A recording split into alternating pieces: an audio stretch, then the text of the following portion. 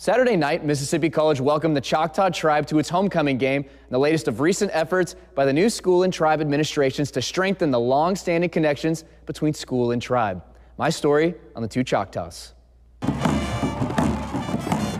Two drum beats, two Choctaws, and one shared goal.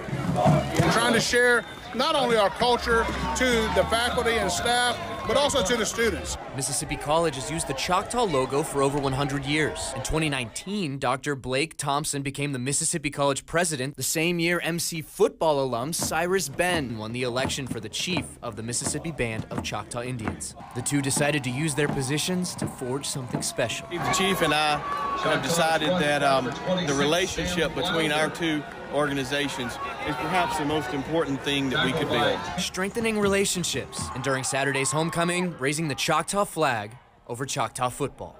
And now, on this campus, to be able to acknowledge us as the Mississippi Band of Choctaw Indians and embrace that is just wonderful. On the field and under the Choctaw flag, MC went toe-to-toe with 8th ranked Delta State homecoming night.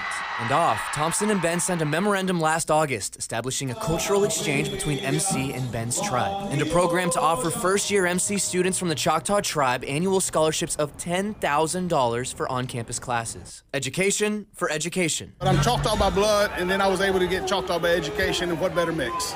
And the new flag stands proudly as the latest example of the shared Choctaw culture.